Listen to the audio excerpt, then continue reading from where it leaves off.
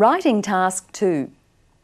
In this task, you may be asked to persuade, P, offer suggestions, S, compare and contrast, C, give causes and effects, CE, give advantages and disadvantages, AD, and other, O.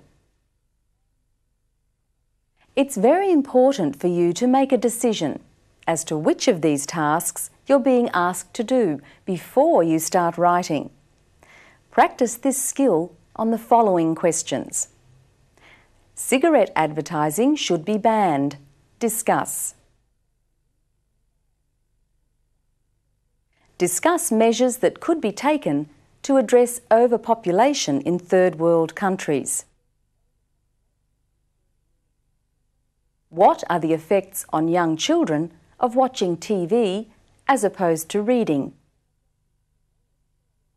Discuss the causes of the escalation of crime rates in most cities. What effect does this have on society?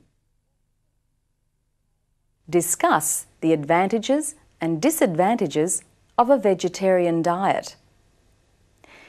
If you're not sure about your ability to carry out this vital first step in the Task 2 writing question, please turn to the notes and study the section entitled Tips to help you decide on the correct format to use. You'll find some model Task 2 essays in your notes. Use them to practice answering the typical Task 2 questions. Also, use the Critical Thinking Guide, which has been designed to assist you to develop your own ideas about a number of different topics. This exercise is very important and very helpful, so please practice it as much as you can.